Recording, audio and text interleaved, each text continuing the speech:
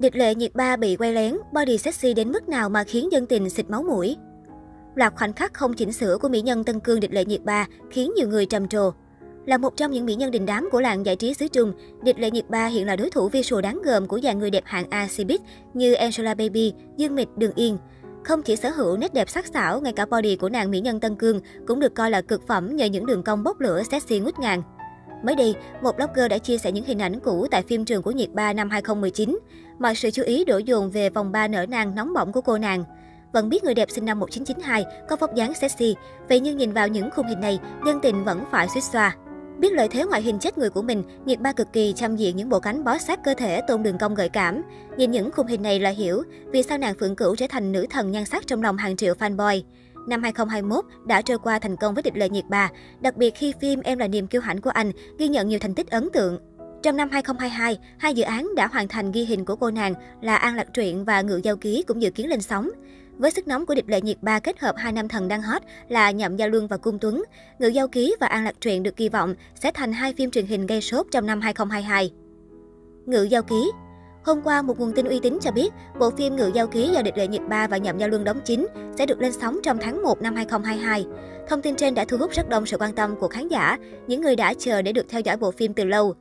Là một dự án lớn được đầu tư nhiều, Ngự Giao Ký được kỳ vọng sẽ mang lại những thành tích cao trên các bảng xếp hạng. Ngự Giao Ký thuộc thể loại huyền huyễn ngược tâm có chút cường thủ hào đoạt được chuyển thể từ tiểu thuyết của cửu lộ phi hương. Trong phim, Nhậm Gia Luân vào vai Trường Ý, còn địch lệ nhiệt ba hóa thân thành nhân vật Kỷ Văn Hòa. Phim xoay quanh câu chuyện của một cô gái mang ẩn mạch tên Kỷ Văn Hòa là một ngự yêu sư, trừ yêu phục yêu và một chàng trai tên Trường Ý là một giao nhân, người cá. An Lạc Truyện Người đẹp Tân Cương địch đại nhiệt ba sẽ hợp tác cùng Cung Tuấn trong tác phẩm cổ trang này. Đây là dự án gây chú ý ngay từ thời điểm chính thức khởi quay, khi đạo diễn Thành Tử Du chịu trách nhiệm thực hiện. Phim được xây dựng dựa trên cuốn tiểu thuyết nổi tiếng Đếu Hoàng Thư của tác giả Tinh Linh. Theo đó, Cung Tuấn đảm nhận vai Thái tử Hàng Diệp cùng với oan gia nhằm an lạc do địch lệ nhiệt ba đóng, chống phá những âm mưu đen tối của thế lực ngầm trong Hoàng cung. Được biết, An Lạc truyện có độ dài 40 tập, được dự kiến phát hành vào quý 2 năm 2022 trên các nền tảng chiếu phim có bản quyền. Bên cạnh hai dự án này, nhiều tin đồn cho rằng Điệp Lệ Nhiệt Ba sẽ nên duyên cùng Dương Dương trong dự án toàn chức cao thủ. Sau thành công vang dội vào năm 2019, siêu phẩm eSports toàn chức cao thủ đang rục rịch trở lại màn ảnh với phần 2, tiếp nối câu chuyện chinh phục vinh quang của Diệp Tu và các đồng đội. Thế nhưng phim sẽ có một sự thay đổi chóng mặt ở vai nữ chính.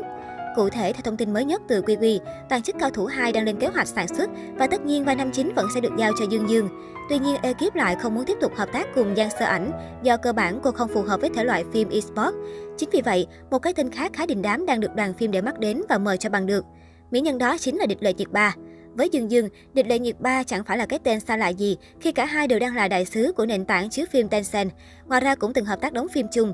Chưa dừng lại ở đó, từng có không ít tin hẹn hò, phim giả tình thật của Dương Dương và địch lệ nhiệt ba khiến dân tình bàn tán xôn xao. Điều đó chứng tỏ giữa Dương Dương và địch lệ nhiệt ba tồn tại một mối quan hệ khá thân thiết, lại dễ nảy sinh chemistry với nhau. Việc tham gia toàn chức cao thủ 2 của mỹ nhân Tân Cương sẽ là cú vả lớn trong khi tin tức hẹn hò của Dương Dương cùng Triệu Lộ Tư vừa lên thớt trong những ngày gần đây.